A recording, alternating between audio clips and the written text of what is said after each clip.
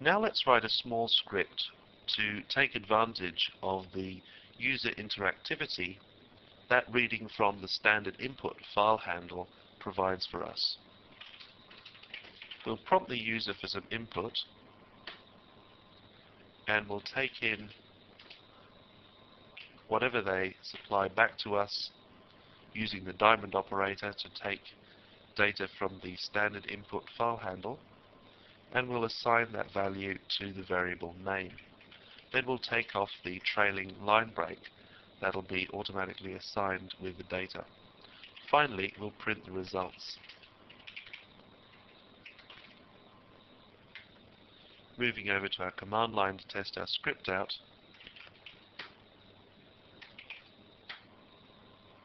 our script works as it should do.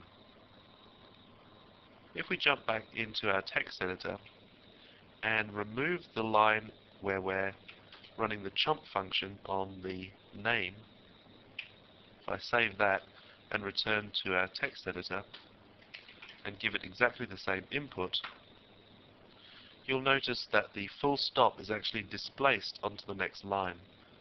So it's important to include the chomp function when we want to make sure that we're taking away that extra new line at the end. Let's do something slightly more complicated now. Let's write a script that allows the user to specify a file and then returns the contents of the file to the command line for the user to see. In order to do this, first of all we're going to break down the main steps of the program and write in little comments.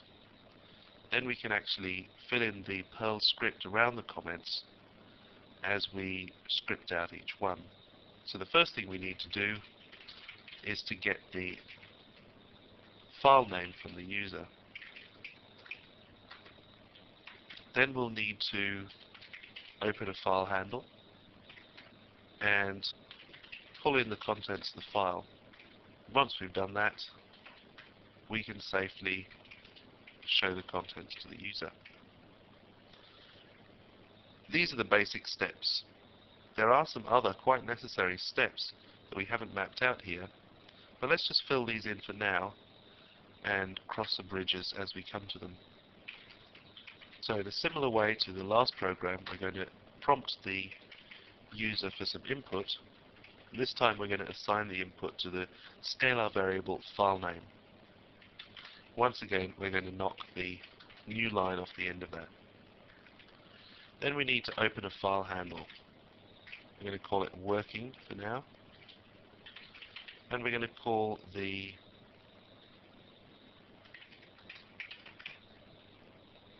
file name variable as the second argument of the open function. Now that our file handle is open, we might also want to run a stat function to allow us to get the size of the file and then use the read function to pull in the entire file at once into another scalar variable. We're going to call that contents. And we're going to use the seventh element of the stats array that we just created in the previous line as the size of the data that we're pulling in because that's the size of the file itself. Finally, we're going to print the contents of the file back to the user. Let's pop over to our command line and see how this works. First of all, we just need to see what text files there are available for us to run this script on. Now if we run our file script,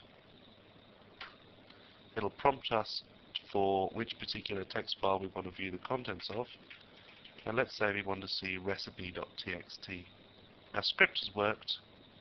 The results have been returned to us. So far so good. In our next movie, we're going to see what's wrong with this script and go some way towards fixing it.